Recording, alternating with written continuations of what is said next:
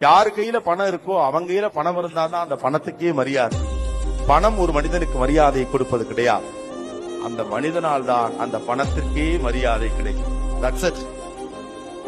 பாக்கெட்ல பத்தாயிரம் ரூபாய் வச்சுட்டு ஏசி கார்ல போயிட்டு இருக்க ஒருத்தர் சிக்னல்ல நிக்கிற ஒரு கால் உடைஞ்ச ஒருத்தனை தீ முறைச்சு பார்த்துட்டு இருக்கப்போ அதே சிக்னல்ல ஓரமா ஏதோ ஒரு ஆபீஸ்ல பியூன் மேல பாக்குற உடஞ்ச கேரியர் ஸ்டேஷன்ல போறவரு பாக்கெட்ல இருக்கிற இந்த ரெண்டு காயின் எடுத்துட்டு இப்படி யோசிச்சுட்டு ஒரே ஒரு காயினை மட்டும் அவருக்கு வச்சுட்டு ஒரு காயினை கொடுத்துட்டு போறான். இப்ப அந்த காருக்குள்ள உட்கார்ந்து பணக்காரனா?